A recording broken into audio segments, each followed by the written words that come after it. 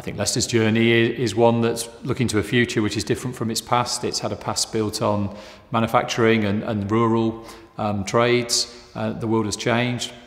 Cyber's been invented, service industries have been invented, and Leicester's future is really exciting actually.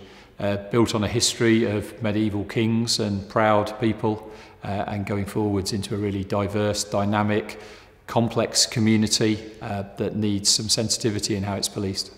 So a lot of people see the East Midlands as being perhaps a forgotten part. Now I see it as an opportunity and I see it as a place that has needed an injection of uh, ideas and dynamics and uh, an injection of restoration. Uh, you've now got an environment that people want to be part of and want to get back into. And 25 years ago, people were moving away. So it really has changed the way that people look and feel about it. And we're responsible for managing 200 square miles of new national forest across the Midlands.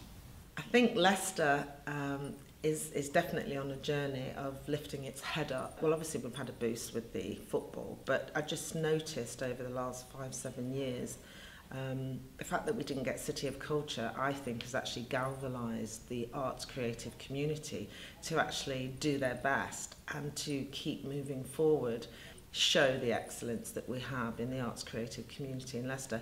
And I think now there's a real buzz that's going on and people in Nottingham and other places are talking about what's going on. Dealing with a forest, you have to work on decades and centuries because that's the time it takes to get firstly a forest created, but then it has to mature and it has to be managed and it has to evolve.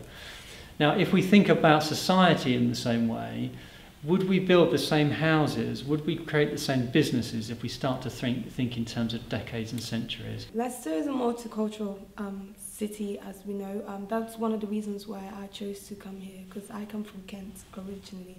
So just having um, a city that's so diverse, pulled together and um, grow really because it's not just in football. I think Leicester, even economically, we we've grown a lot um, over the past years. So I think it's you know it's really evolved and it's still got a long way to go. But it's exciting to be a part of that journey.